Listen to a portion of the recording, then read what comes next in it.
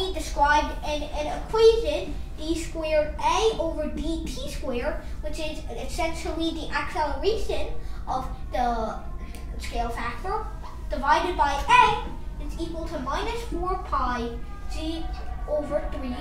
This pi g thing looks extremely similar to Einstein's field equation, by the way. Um, so we don't know what caused the Big Bang, but do we have equations that can describe the, the universe and, and the expansion of the universe? Well, I believe we do. It's about something called the scale factor, which is a bit hard to explain, but it's I feel it's a bit easier to explain the acceleration of the scale factor. So basically, oh, yeah, do tell you, me about that. So if you have like say two galaxies, and not an expert at drawing galaxies, these may just look like um, line integrals, I believe, but they look like um, good galaxies to me. Um, okay, so if we have these two galaxies and say they're at a distance d naught apart at a time t naught, which by default at any time is the present age of the universe, which is about 13.8 billion years. So this is so this is the age of the universe and let's say we have this distance between galaxies at any one time, like say now for example.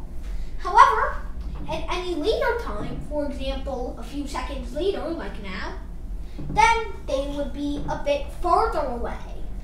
So say they would be a distance of d naught times the scale factor, which is represented by a, and th there is a function that is dependent on time, t minus t naught, a time t.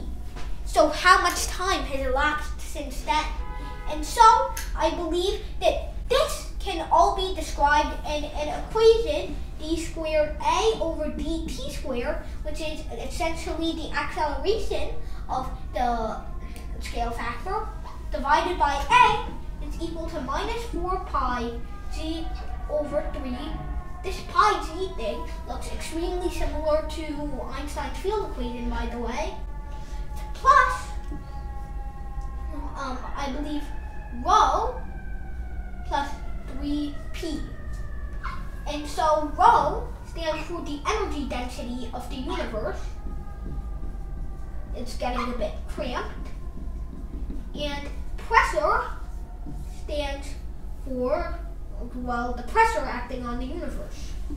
Oh, so that that's an equation that describes the acceleration of the scale factor?